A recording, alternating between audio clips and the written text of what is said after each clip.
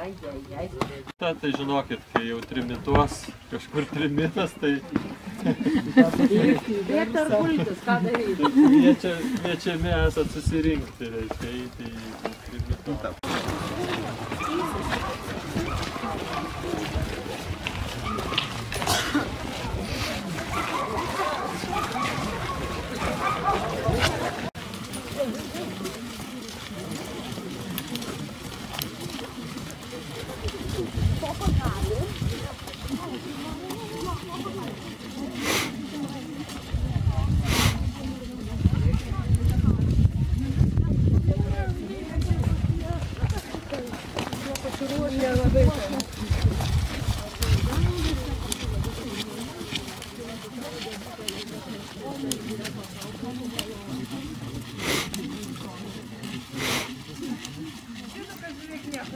Niekur nevažiuoja. Sėdėsi moletus, vedys su mašina ir net nežinau, jam reikia pro tą vaikų darželį pravažiuoti.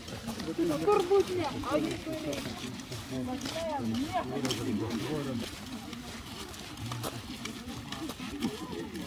Norit pasakojimo, tai reikia einam.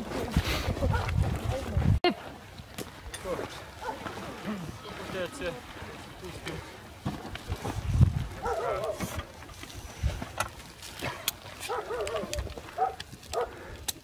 Žinot, pasakojimai yra patys įvairiausi. Aš išbėgsiu už akių jums. Ir iškart iškelsiu klausimą, iš kur jūs žinot, kad čia čia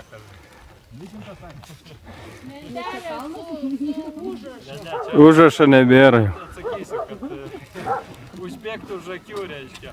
Taip viso ilgo istorinio pasakojimo, reiškia, pagrindinis klausimas, tai iš kur jūs žinot, kad čia būtent yra ta vieta. reiškia. Tai čia noriu pasakyti, kad klausimas yra rimtas. Rūjų piliakalniai, jie yra lyg ir akivaizdus, bet tokių nėra per nelik daug. Šitas kalnas, e, ką mes pastebėjome, aukštas, status, būtų vaizdingas, bet rūkas. Na, jeigu žiūrėtume į žemėlapį upelis, kažkur tai galbūt tai kitas pakilimas, aukštuma. Žodžiu, toks visas buvimas ir būdingas gyvenvietiai. Mes patys galėtume klausti, ar aš čia norėčiau gyventi, ar aš čia galėčiau gyventi, ar aš čia išgyvenčiau.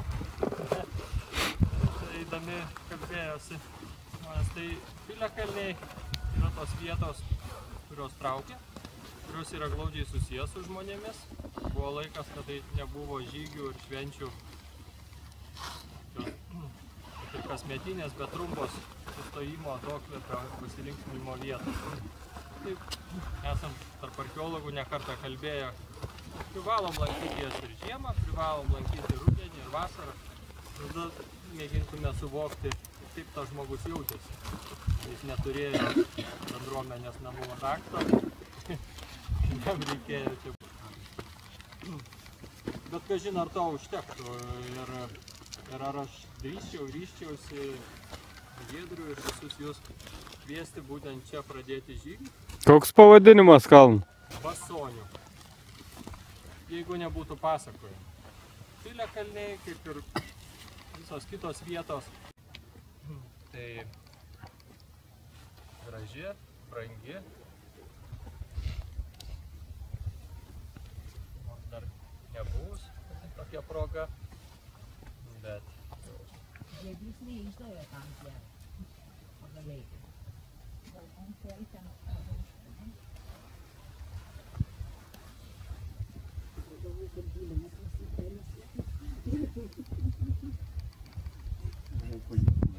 yra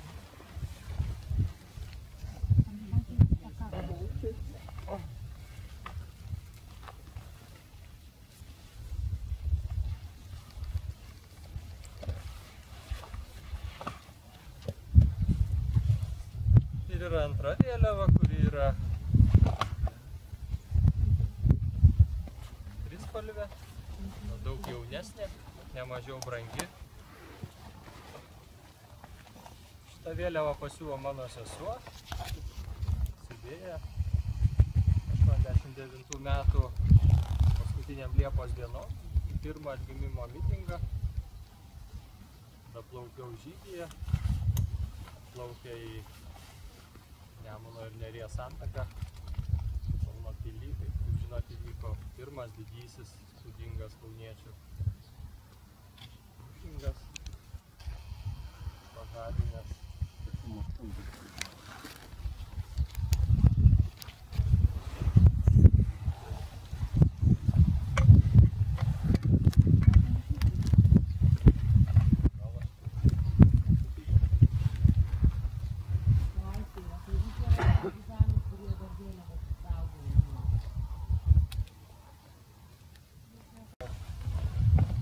gal aš kaip 89 metų žygį per rudens atostogas moksleivių. Tos Atostogos dar buvo pastolinės, lapkritinės tą savaitę, bet eidami į žygį su Viteniu Manaičiu, žygeivių vadu, mes visą tą žygį nešėm vėliavą, trispalvę.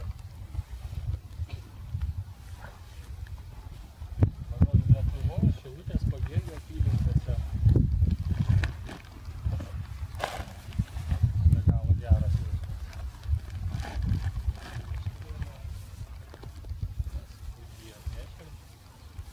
Apsukę didelį ratą, atėję, apeigą atlikę,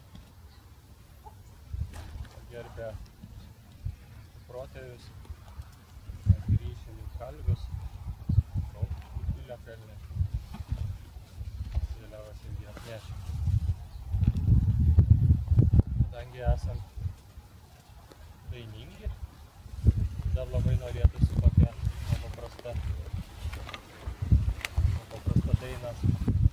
啊对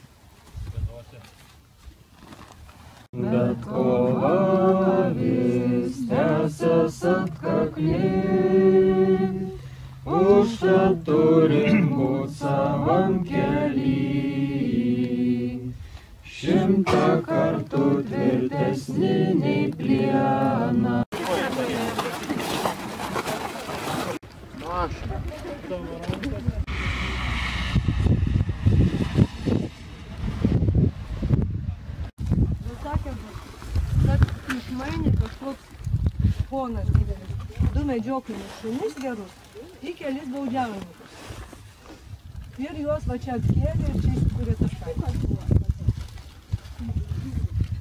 Du, du medžioklinius šunis.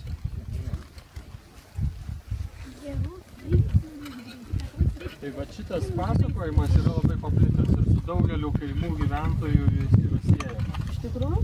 Taip. Klausimai, jūs pasakojat, bet e, ten jisai lygiai taip pat apie Žikaronis kalbama, apie aukštadvario pusę. Ta, kur yra pradžia, nu čia sunku pasakyti. Bet kad e, žmonės yra niekam verti, o šunys yra labai brangus, kad ponai turi valią ant žmonių, va toks slypi. Bet kartais virsta lietuvių lenkų įtampos šaltiniai. Nu, ten klausimas. Kodėl Žikaronyse lenkai? Dėl to, kad aukštadvario ponas porą lenkų išmainė su ponu į šunis. Ir, nu, tokia kaip sėklas. Bet čia labai sunku atrinkti, kur yra istorija, atsiprašau, kur yra mitologija. Ir čia šitą girdėti yra juo keiščiau. Nes šito kaimo, nu, nu kaip sentikiai, jie Lietuvoje, kaip ir aišku, kada jie ir kaip atsirado, čia nėra jokių paslapčių didelių. Jum, pirmas dalykas tai pirmosios santykių gyvenvietės Lietuvoje yra Zarasų krašte, keliasi per didžios kunigaikštystės sieną, bėga nuo persekiojimo čia rytuose ir keliasi į labai tokias miškingas nuošalias vietas. Daug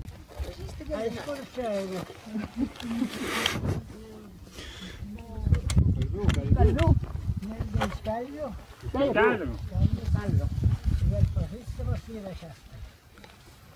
Mes atvažiavom į kalvį. Pasakyk savo senelį vardą.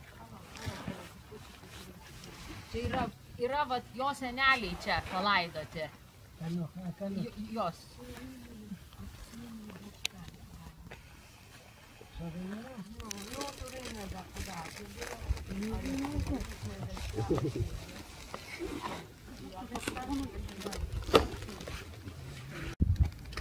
Jisai čia yra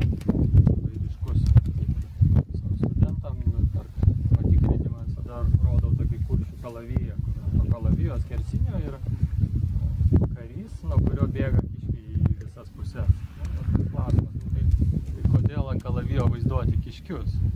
Tam, kad rodyt, kad visi priešai bėga kaip kiškiai nuo- to, kuris yra. Va, ir, ir Rusijos metrašiai, jie yra kelis kartus lietuvius pavadinę vilkais, lietuvius karius. Ir bėgo Litva, kaip vilkai, reiškia.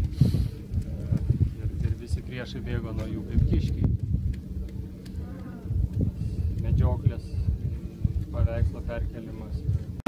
Bandom po keliuku įkalbėti.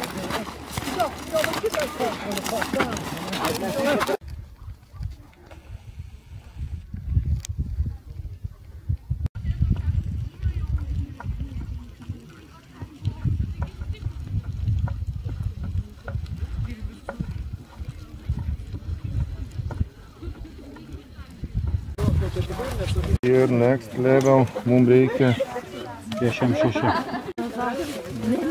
Viena vieta, kuri, jeigu nežinotume pasakojimų, tiesiog būtų miško vietovė, brūzgynai, nieko nepatraukli, galbūt išskyrus, kad mus patraukia dėmesį skroblai, jų čia daugybė, na, toks neįprastas. Čia, ne, visi jauni, seni ir, ir panašiai, bet, e, Rytoj vakare. bet yra kažkas daugiau. Gal, Jonai truputį gal gali.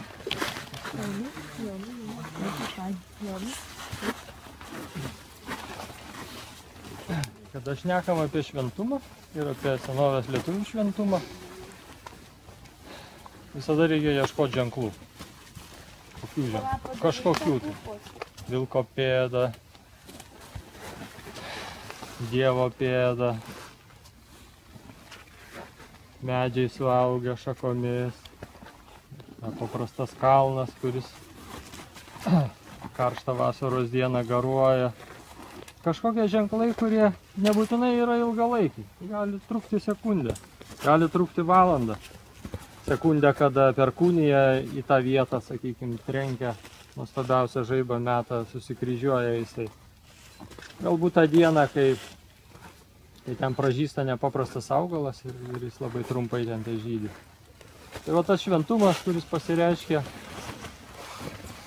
jis yra kaip ir akivaizdus, bet niekada nežinai, kada tave tas jausmas ištiks, kada tu suvoksi, kada tu įkopęs į, į tą olimpą, suprasi, kad taip tai yra iš tikrųjų na, šventa vieta. Ir kaip ten būti, kaip ten elgtis ir kas iš to seka. Tai vat kada kalbam apie senovės lietuvių šventumą, daubos.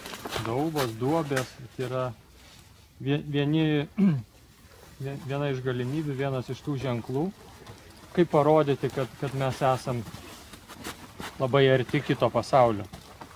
Tai, tai atsidurti giliai, būti giliai. Tai kada mes įėjom į mišką, tai mes patyrėm liktai tą pasakų, išgyvenom tą pasakų paveikslą piešiamą, kad jis įėjo į gyrę ne, ir, ir ėjo tenai, nes, nes jam buvo liepta eiti už, už gyrių marių. Tai toks liktai ėjimas žemės paviršium.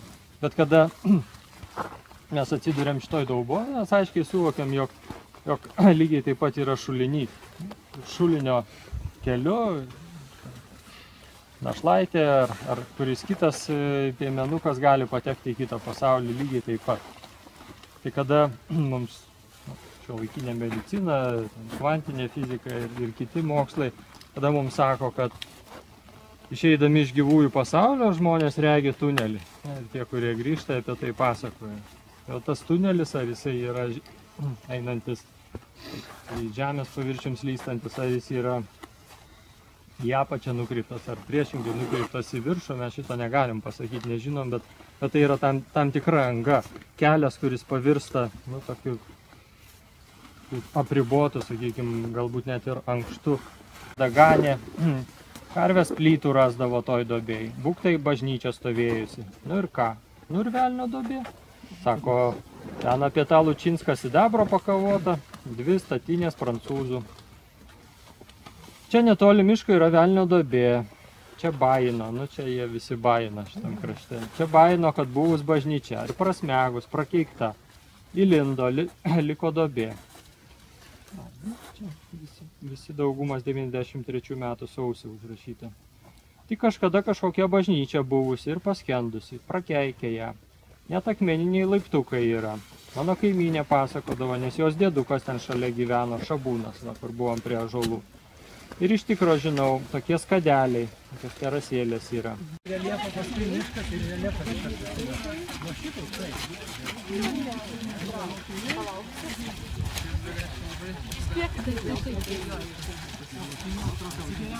Jūs pažiūrėkite, koks ten medis.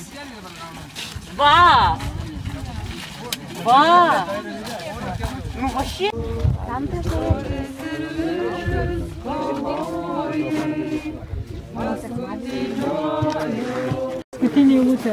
Žuvusiems 55, 8 kaukinės miške ir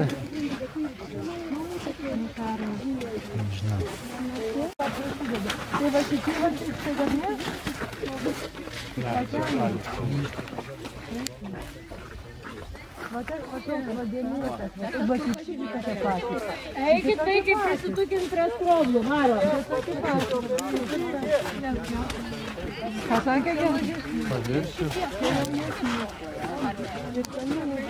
Čia labai seni, tikrai pasiekė jau amžių. Sakyti,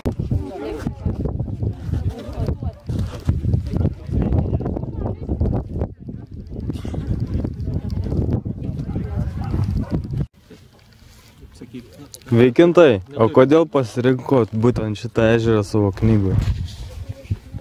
nu, jis išskirtinis ir, ir, ir tas pasakojimas išskirtinis ir pati vieta išskirtinė. Tai, sakyt, norėtųsi daugiau pasakyti, norėtųsi daugiau įterpti ar pridurti, bet kas, kas galim va taip.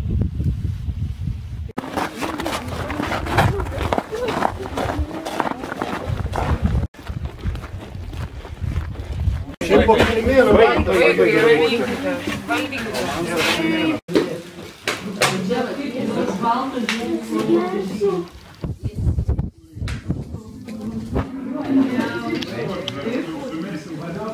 Мажас мусу хатеис, мажас мусу хатеис, мажамус, я не мелек поснул, мажамус. Сугар, ты, он, O kieno šitos šaknis ir kokios? Čia morkos yra. Kodėl jos tokios bespalvės?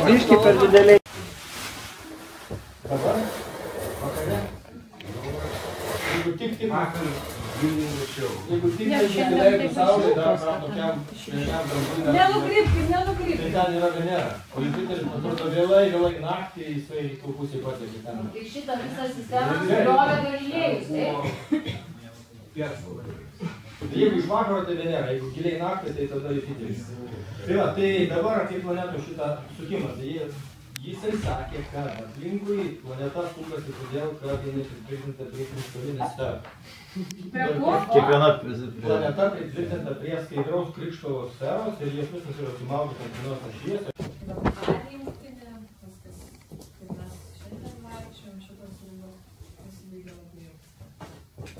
Dėl to, kad pati apygarda, netgi apygardos viduj įvyko labai atsiskyrimas, aišku. Kad, na, bet čia galbūt nuo pradžių. 44 Liepa, visoje Lietuvoje, didžiuliai būriai telkėsi, susitelkė čia organizuoti legendinius, mano nuomonė, vienas labiausiai legendom apipintas žmogus, Jonas Kosūnas Velnes. Na, nežinau, bent jau aš asmeniškai, galbūt kito tokio legendinio, tiek legendo, dėl savo nežinomo, galbūt likimo labiausiai tą legendinį patekęs žmonių atsiminimų, jo ūgis 2 metrai, o jis gyvena bunkeriuose, nu įsivaizduoti, bet kaip prisiminimai, vaikščiodavo miškų tyriai, jokio šakelio ne- nepajudindavo. 44 vasarą pradeda burtis, Jonas Misiūnas ima vadovauti. Prasideda nuo rinktinės. Didžiosios kovos rinktinė. Ir galbūt dar, aišku, čia pati tiesiog samprotauju, kodėl o tokio stipraus nebuvo. Buvo daug partizanų, bet nebuvo tokio stipraus organizacinio. Nu, mes nematom šalia Jono Misiūno daugiau nu, tokių stiprių. Jis kūrė vienas, turėdamas, aišku, savo štabą, savo žmonės, bet kaip mes dirbam, sakykime, Kęstučio apyvartai ar Dzukėją paimtume. Na, ten ne po vieną, Dzukėjoje yra Vitkus Kardinaraitis, Vanagas, šalia Žaibas, Voveris. Nu, jų yra brandoliai tokie. Žemaitijoje yra Jonas Žemaitis, Petras Bartkus, Čeponis, Kapitonai. O ten yra tokie žydiniai, kur, na, bet kuriuo atveju tu turi komandą kurti, stiprinti, ar tu esi vienas galbūt kaip lyderis, bet nu, yra šalia. Mano nuomonė, tai irgi galėjo lemti tam tikrą ankstyvą na, neišsilaikymą, negalėjimą taip ilgai. Nes jeigu mes kalbam apie partizaninį karą, 50, 49 uh, vadų susitikimas, A rinktinės, ta gripa, kurią aš čia vaikščiau, čia jau veikia tik pavieniai partizanai. 48 saugumo dokumentas yra rašoma, nustoja veikti, nebėra, yra sunaikinta. Kur 48 prisikėlimo apygala dar tik įkūriama, dar tik pradeda savo gyvenimą, čia jau nebelieka. Ir būtent kodėl toks sudėtingas šitos 46 dar tik išeina iš didžiųjų stovyklų į bunkerius. Čia masiškai išvažiuoja su padirbtais dokumentais gyventi Vilnių. Jie patikė Markulio legenda, kad atvažiuos. Aišku, aš negaliu sakyti, kad tikrai nebuvo daugiau visoje Lietuvoje, bet kiek, nežinau, šeštą, septynetą metų dirbu su archyvais, tai pirmą kartą pavyko užfiksuoti, kad būtent šitam krašte didžioji pavoj buvo sukurtas moterų batalionas vadinamas, aišku, matyti skaičium tai nebuvo batalionas turėtų būti daug, labai daug. Tai čia labiau būrys galbūt kažkoks. Kuopa gal nebent, jeigu apie 30. Būrys. Bet moteris tai jau batalionas.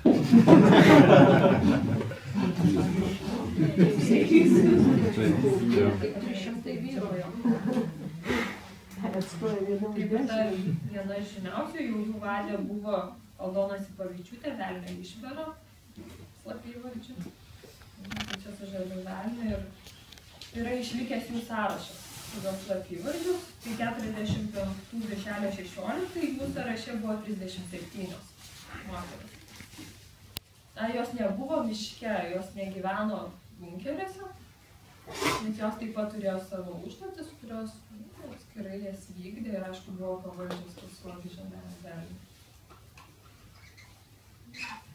Kaip ir daugelis pavyzdžiūtės uh, istorija buvo sulaikyta, viskas. Čia ta prasme. Ne, nevadyk nieko, va čia. Turim tai. Patiem važybėje pasirodo, mes Europoje irgi tuo išsiskiriam, bet mūsų kalba. Vienoj, kad, kad pereiti į kitą ir tas su, suvokimas, supratimas, bet man visada atrodydavo keistas. Bet va dabar galim įsivaizduoti, kaip reiškia mūsų šventė žalai krinta ir kaip jie panaudojami. Kryžiams. Čia prieš karą, ketvirtam dešimtmetį. Ten gana plačiai.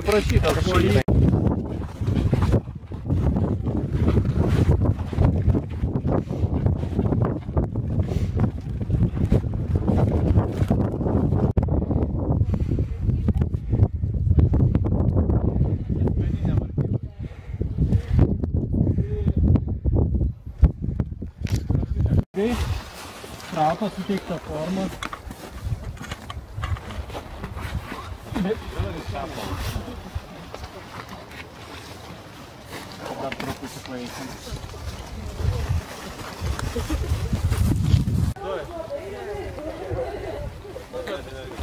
Bet aš turiu omeny, va, tas akmenų krovimas.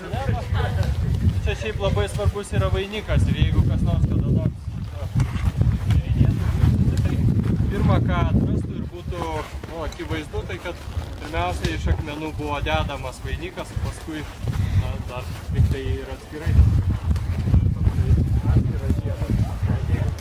Juodosios jūros šiaurinės dalies kurganės, kaip jie tas judėjimas ryšasi, kaip taškus ryšasi. Kitais tai akivaizdus. Yra netgi vat, kapas, sakykime, jau kapo dobė visiškai ir galvų gali stulpavietė. Tu matai, kad stulpavietė, bet vat, jeigu ji būtų sudeginta, jau būtų suanglėjusi, nu jau daugiau kažką tai gautum, o dabar tiesiog kaip, kaip, kaip senas būtų kažkoks tai žinau, kapų vaizdinys. Yra tas svarbus ir vienas svarbiausių, kuris žadina mūsų tautą. Turėjo ypatingą reikšmę. Buvo juntama, kalbama, eiliuojama ir dainuojama apie tos protėvius milžinus. Dabar kryps mūsų kelias į pietus, prie nepaprasto ežero, prie Švenčiaus ežero. Vėl lankysim. Čia gal intrigai sukurti, žinai. Labai labai tikros. tai panašu į pėdą. Nu jau ne. Bet čia trys linijos, ne? Kaip ženklas. Mūdris, nagais. Nu, vienas, čia du, trys ir, kažkas ir va čia tas duburiukas turėtų būti. Kryžiuočiai, kada puolė Lietuvą vieną iš daugelio savo žygių metu 1375 metais savo kroniką įrašė šito ežero vardą. Ta padarė lietuviškai. Sventė Azerė. Tai yra pirmas Kansos ežeras paminėtas senuose šaltiniuose. Kartelė? Ne tas pats, niekas ne vanduo, niekas neišgelbė. Bet va, iš kur geriau. Neišgelbė. Nesakykit. Bet kaip tik spręsdamas su gražuoju. Yra Lietuvoje palyginus.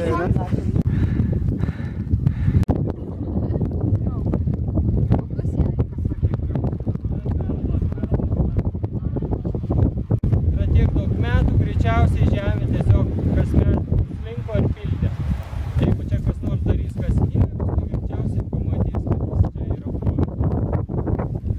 Čia plyti gyvenvietė. Tai yra sakoma, jeigu iki pat neseno laiko išlikę pasakojimai apie šitą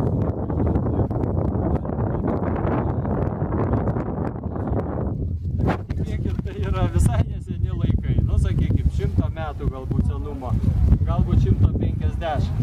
Tai, kad tai nėra išsigalvojimas ir nėra mokyklos reikalas, mums tą rodo jau pats pirmasis užrašymas, padavimas. Ir jis buvo užrašytas 1890 metais, įsivaizduojat, jau užrašyta, kad čia senovės lietuviai degindavo aukas. Tai va, 1890-ieji. Aš čia atėjau 1993 ir girdžiu lygiai tos pačius pasakojimus. Ir dar išsamesnius. Nu, kad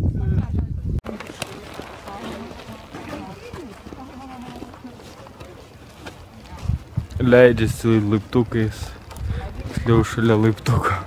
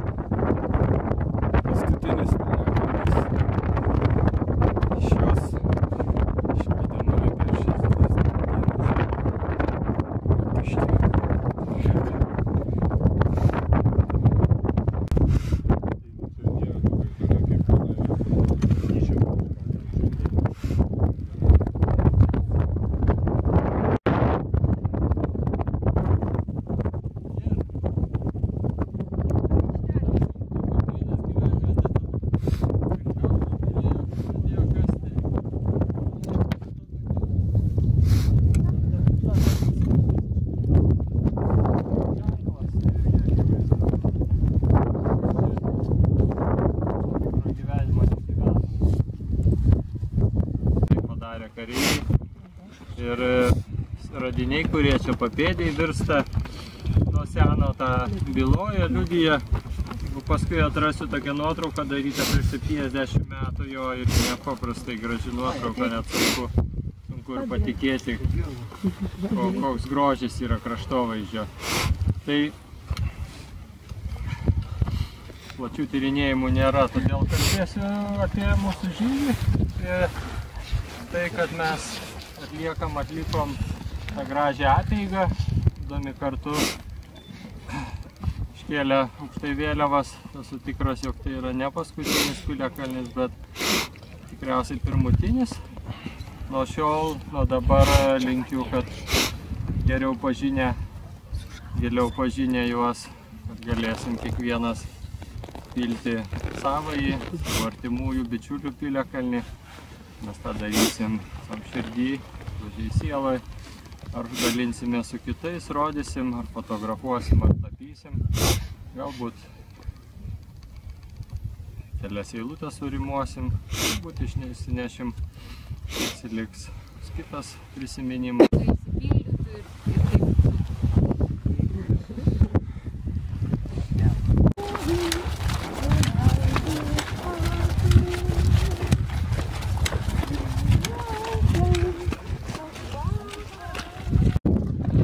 Mašina, ne, žieka nenutrankt.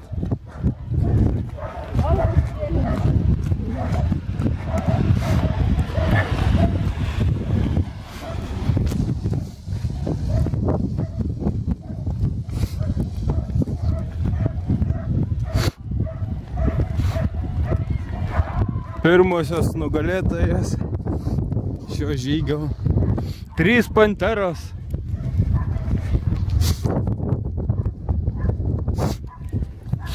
Aš ateinu ketvirtų numeriu. Kalvių kaime. Žygis baigtas.